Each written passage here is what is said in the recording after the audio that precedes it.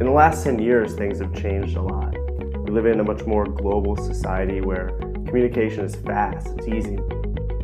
Just at the click of the button, we can connect with our family and our friends. And medicine, uh, in many ways, leads the charge at the forefront of discovery, uh, but in other ways, it's behind. Uh, our engineers, we, we got together and we just tried to figure out, we tried to answer one question how can we take the distance out of the equation? How can we make the world of pathology a smaller one?